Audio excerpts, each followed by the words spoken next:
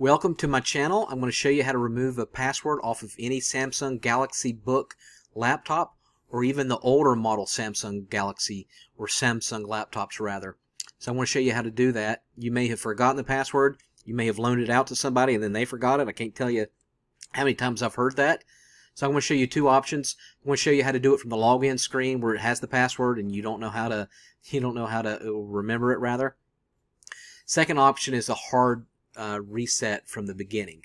And remember, you're not going to be able to keep your files. You're not going to be able to get your old photos or videos back. So that's the only negative drawback. You can't get your personal stuff back.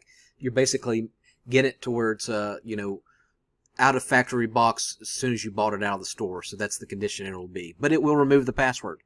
Okay, so for the login from the login screen, you'll see here, and my screen's kind of hovering and covering over the power button here, but there's a little power button right over here on the bottom right of this login screen of the Samsung Galaxy.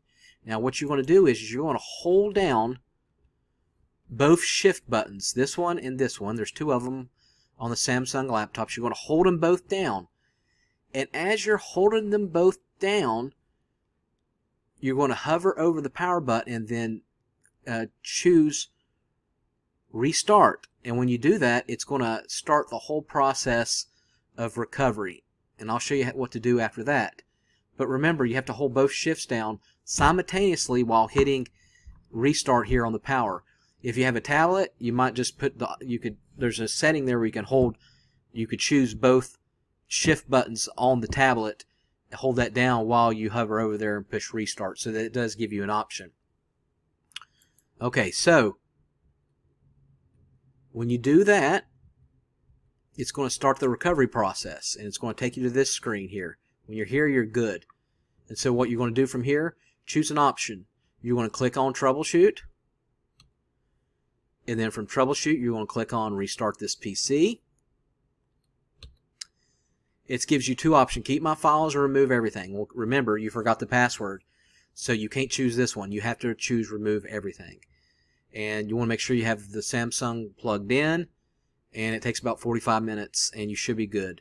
After that you just follow the stops the the the you just follow all the instructions and it'll be like you have a brand new uh, laptop.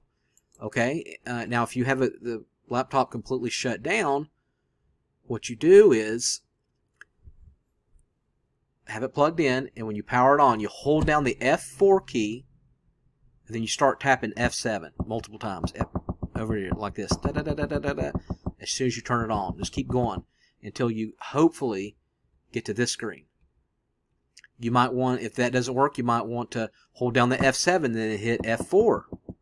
Or you might want to hit them like this, like a piano, uh, back and forth. Try that one time if that doesn't work. If for whatever reason that doesn't work, especially on the older laptops, what you want to do is you want to do F11. So hit F11 multiple times at startup. And then that should take you to this screen. Okay, let me know if that worked for you. Let me know if this worked for you, which option worked for you. Please put it in the comment section. Give me a thumbs up. And thank you for subscribing. All right, have a good day.